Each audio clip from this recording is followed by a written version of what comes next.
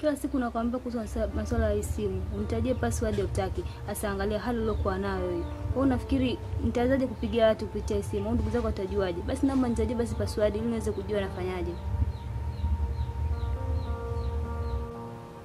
Mke wangu, nini unaonea huruma kwa yale nilionayo? Kwa nini kila siku tunagombana kwa sababu ya password?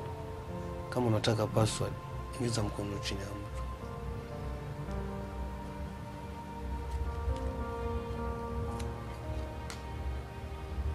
Unaona hiyo? ATM ni kadi ya benki. Pin namba yake. Mwaka wangu wa kuzaliwa, na kwenye hiyo simu kuna line, na hiyo line mna pesa humo ndani, na pin namba yake ni mwaka wangu wa kuzaliwa pia.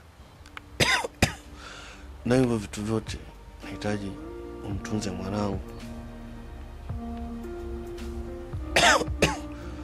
sijui ukapata nafasi ukafanya mambo yako.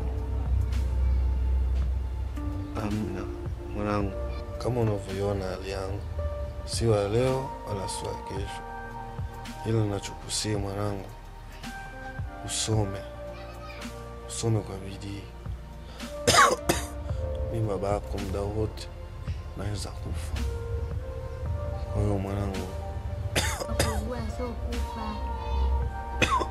kweli mwanangu, lakini usilo la budi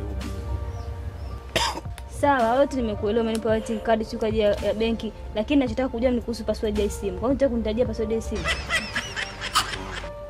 Kwani utaki kunielewa? Hiyo password yake hiyo simu. Kai kai kaifoma